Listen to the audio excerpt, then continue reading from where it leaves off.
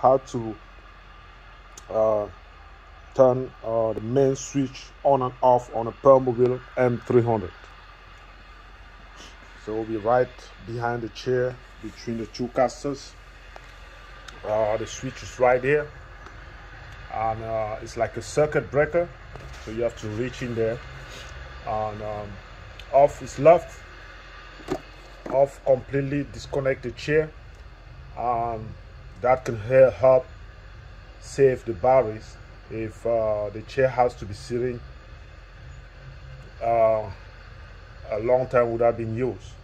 So that could save um, the, um, the batteries on the chair. So completely disconnect the chair will not turn on or will not turn on. So to turn it back off uh, you can see the label here direction here. Flipping it. It's like you have to reach you have to insert your finger in there and then flip it right like a circuit breaker.